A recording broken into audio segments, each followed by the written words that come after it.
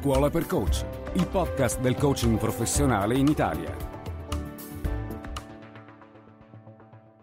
Ciao da Simone Pacchiere, benvenuto o benvenuta a questa nuova puntata di Scuola per Coach, il podcast del coaching professionale in Italia.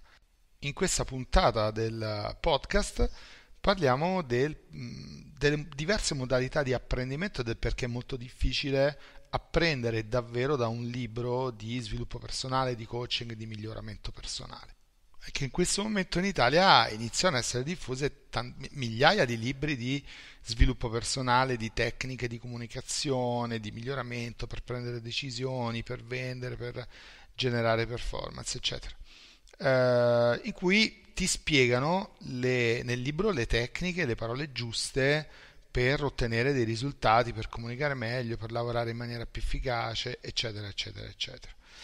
Eh, non è che le tattiche e le tecniche di per sé siano sbagliate. Eh, leggere un libro è un'esperienza però lineare, organizzata in maniera lineare, devi leggere una pagina dopo l'altra, devi eh, come dire, attraversare le tecniche, attraversare i contenuti necessariamente in maniera lineare, necessariamente in sequenza. Eh, solo che quando impari una tecnica in sequenza, quando impari eh, una tecnica in questo modo, eh, una pagina dopo l'altra, eh, stai imparando la tecnica raccontata sequenzialmente, mentre quando la, la, la, usi, quando la devi usare, devi usarla, come dire, nella sua interezza, con tutte le possibili varianti che esistono eh, nella, nell'applicazione, nella comunicazione, ne, nella, nella realtà. Eh, l'esempio che faccio di solito è, è come se volessi imparare a eh, nuotare o a giocare a baseball o a, eh, come dire, mm, a giocare a calcio attraverso un libro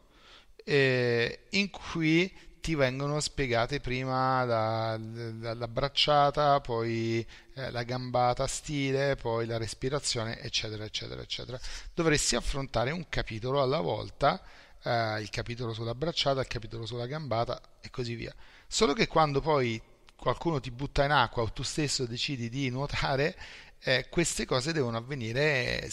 tutte insieme, devono avvenire nello stesso istante o comunque molto ravvicinate l'una dall'altra. Mentre fai la gambata respiri, mentre respiri stai anche portando la bracciata.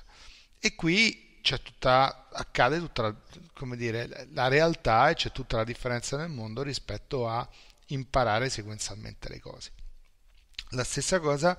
eh, nessuno mai si sognerebbe di imparare a nuotare attraverso un libro. Eh, c'è però che molte persone cercano di apprendere, di imparare eh, tecniche di miglioramento personale, di sviluppo personale, di comunicazione attraverso dei libri o eh, attraverso dei corsi organizzati in maniera sequenziale, in maniera lineare. Non è che per le tattiche e le tecniche di per sé siano sbagliate, nella maggior parte delle volte, e che la loro applicazione molto spesso rischia di essere inutile per tre motivi fondamentali.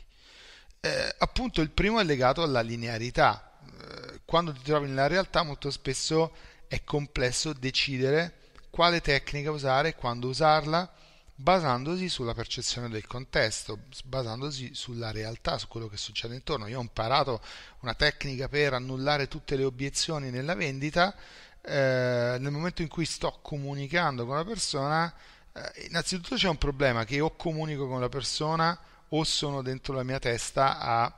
eh, cercare di ricordarmi quale tecnica usare e quale, quale parola dire. Ma soprattutto devo eh, cogliere il contesto, se è il momento esatto per usarla, se è la situazione giusta e la, la percezione del contesto, la comprensione del contesto qualcosa che spesso manca a molte persone che si avvicinano al, al, miglioramento personale e che andrebbe appreso assolutamente prima di usare qualsiasi tecnica. Le informazioni che arrivano dal contesto, i segnali del sistema che arrivano dall'esterno,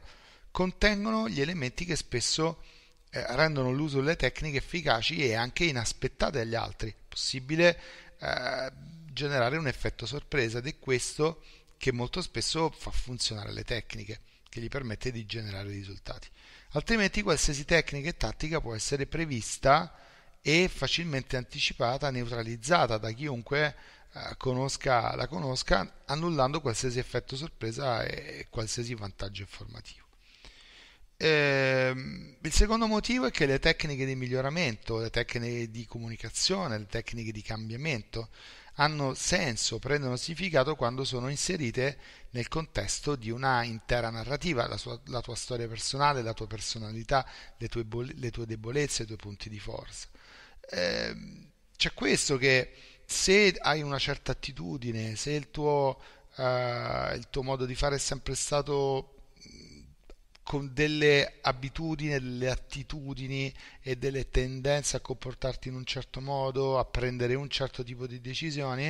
eh, voler andare all'improvviso, all'improvviso eh, tutto all'opposto e fare il contrario in ogni cosa, eh, non funziona nel lungo periodo perché dopo un po' molli. È come quelle persone che non hanno mai fatto un giorno di palestra e che dal primo gennaio inizia, si iscrivono in palestra e iniziano ad andarci 5 volte a settimana. La cosa funziona per le prime 2-3 settimane, dopo, non lo so, hanno un raffreddore, stanno a casa tre giorni e non riprendono più. E ehm, la motivazione, il crederci forte, eh, questa, questa forza di volontà è importante ovviamente, ma molto spesso le persone usano le tecniche in maniera eh, meccanica, si limitano a riproporre quello che dice il libro e a, a, riproporre gli stessi strumenti, le stesse frasi, le stesse domande potenti, tra virgolette, che hanno appreso così come sono, mentre le tecniche vanno adattate. Eh, è molto meglio per una persona eh, che vuole cambiare, cambiare nella direzione della sua attitudine principale piuttosto che eh, che cambiare e, e cam- cercare di cambiare totalmente la sua personalità. Non lo so, cioè un, è, è, molto più facile iniziare a introdurre dei cambiamenti eh, legati, non lo so, a una persona che vuole iniziare a fare movimento, a fare un po' di sport, legati a qualcosa che già fa e che gli piace fare, che è eh, in, in linea con la sua attitudini, sue, le sue abitudini, suoi modi, le sue esperienze e chi è la sua personalità, piuttosto che cercare di stravolgere totalmente la personalità di, di qualcuno per, per, fargli iniziare a fare sport fargli iniziare a fare movimento. Eh, altrimenti eh, va a finire che il risultato è un coaching, un miglioramento personale che va bene per tutte le situazioni e che viene dopo un po' diventa inefficace per, perché le persone eh, hanno un rifiuto nei confronti di cambiamenti drastici che non rispettano la, la loro personalità. Il terzo motivo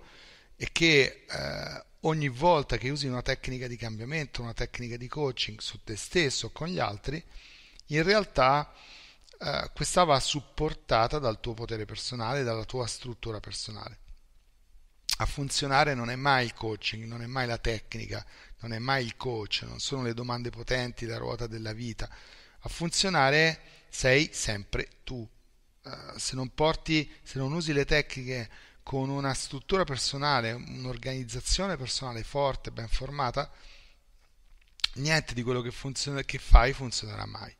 E questo è il lavoro del resonance, del, dell'approccio al coaching che utilizzo da più di dieci anni, insegno uh, da diversi anni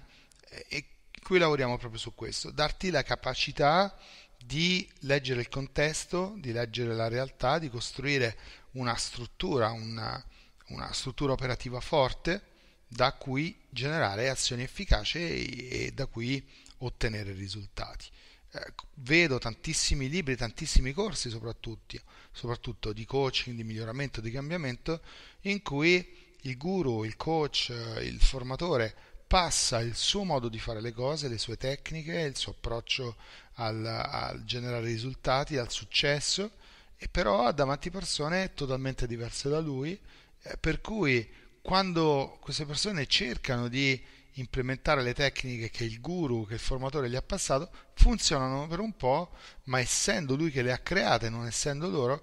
poco queste tecniche si legano, si installano, si, si amalgamano con la persona dopo un po' la persona smette di usarle e ovviamente non è colpa del guru, non è colpa sua, è semplicemente che però la persona non ottiene i risultati che si meriterebbe. Allora serve una comprensione della realtà, una comprensione della persona, del contesto, di quello che succede intorno, per generare trasformazione, non più cambiamento, per generare una modalità di azione, di essere nel mondo, di funzionare nel mondo in cui la persona rimane com'è, ma inizia a cambiare, a trasformare degli schemi eh, in, di inefficacia, degli schemi che lo rendono inefficace, amplificando ancora maggiormente chi è, il suo modo di fare, la sua personalità, eh, la sua identità, la st- rafforzando semplicemente la struttura a partire dalla quale opera. Se ti interessa, se ti stimola questo, anche solo ti incuriosisce questo, uh, questo approccio, queste parole che ho appena detto, puoi iniziare ad approfondire uh, visitando il, il sito www.simonepacchiale.com, ascoltando le altre puntate del podcast, quelle future che registrerò e quelle passate che trovi in questo podcast, e entrando nel gruppo Coaching Italia su Facebook che ormai contiene eh, circa 4.000 persone, eh, ci sono diverse imitazioni, ma insomma è quello che, che contiene più, più persone, più, più iscritti al, al, gruppo e lì puoi dialogare con gli altri membri del gruppo eh, e con, con me, direttamente con me.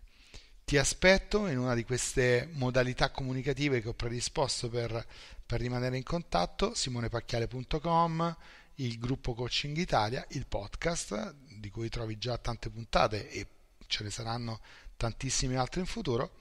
E buona continuazione di giornata, a prestissimo, ciao da Simone Pacchiele. Scuola per Coach, il podcast del coaching professionale in Italia.